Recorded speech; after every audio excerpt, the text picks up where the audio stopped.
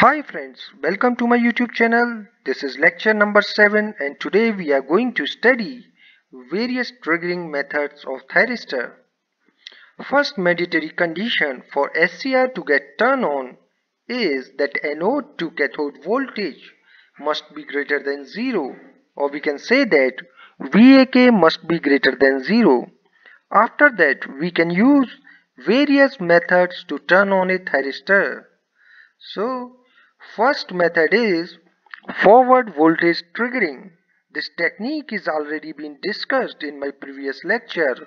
In this technique, anode to cathode voltage is made greater than zero. When this anode to cathode voltage is increased beyond forward breakover voltage VBO, then SCR get turned on. But this method is avoided as it may damage the SCR. Now, one important point I want to tell you is that magnitude of forward breakover voltage VBO is equals to the magnitude of reverse breakover voltage VBR.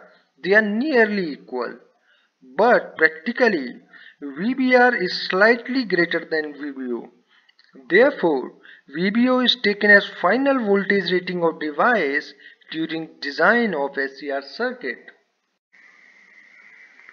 Now second method is gate triggering. It is most simple, reliable, efficient and widely used method. In this, when anode to cathode voltage is greater than 0, then a positive gate voltage is applied using gate cathode circuit.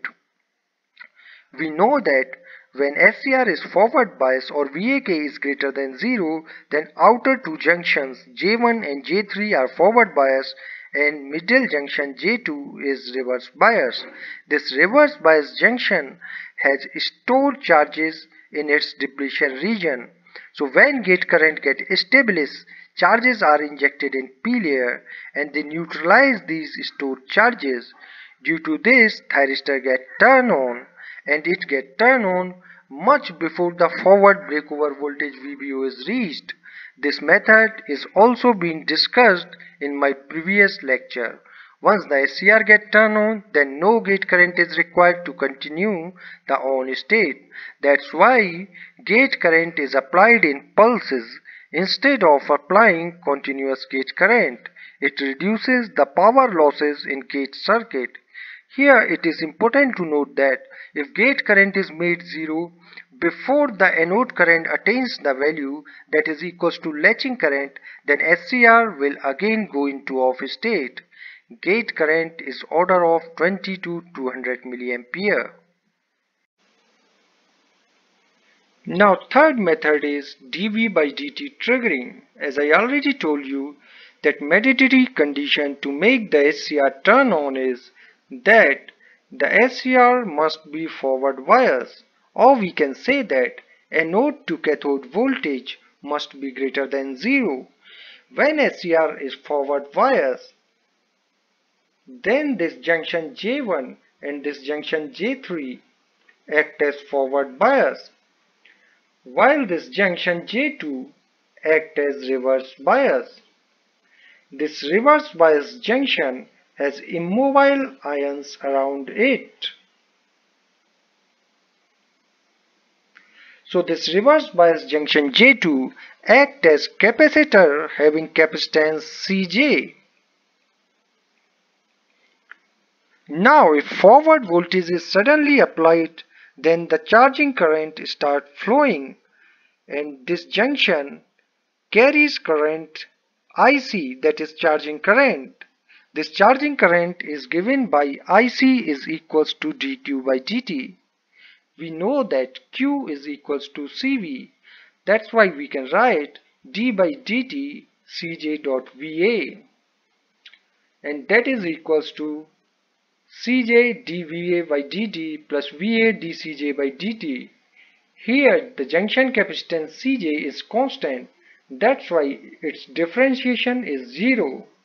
Putting this we get IC is equals to Cj dVa by dt if rate of change of anode voltage is sufficient enough to make IC greater than IL, IL is latching current. So if this IC becomes greater than IL, then SCR get turned on. In other words, we can say that IC act as gate current to turn on SCR. Now next method is light triggering. If VAK that is anode to cathode voltage is greater than 0 and it is less than forward breakover voltage VBO then outer two junctions J1 and J3 are forward bias while junction J2 is reverse bias. When photons fall on reverse bias junction J2 then electrons and holes are generated which neutralize the stored charges across the junction. So depletion region width decreases and it starts conducting.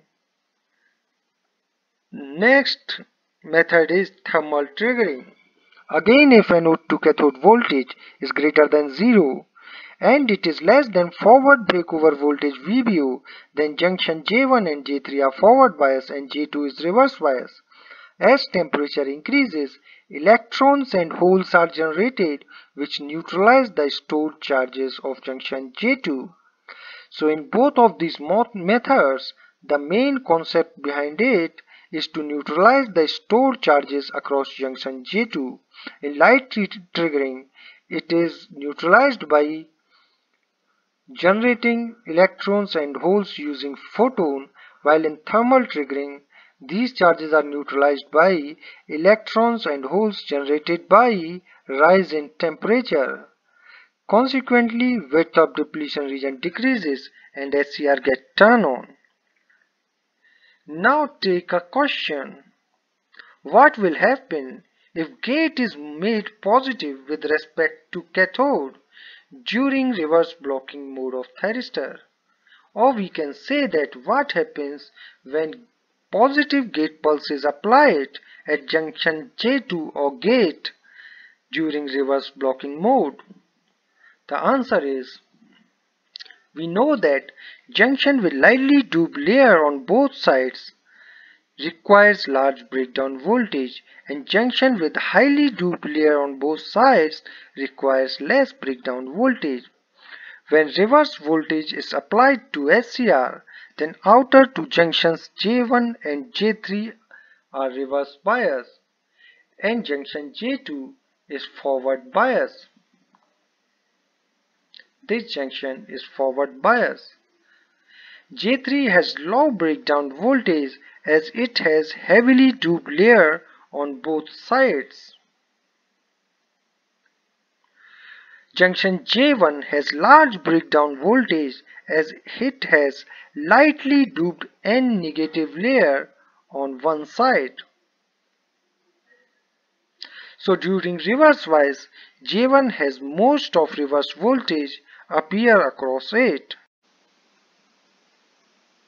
Now if positive gate voltage is applied in reverse bias SCR, then J3 breaks first and whole voltage appear across junction J1.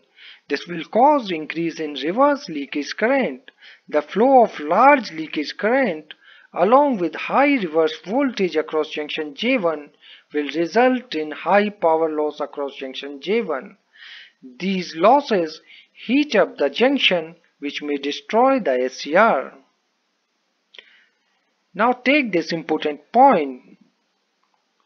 Carrier frequency gate drive is used for turn on of thyristor. It reduces the size of pulse transformer. This point has been asked in ES 2005 and ES 2001. So that's all about this video 1. I hope you liked the video.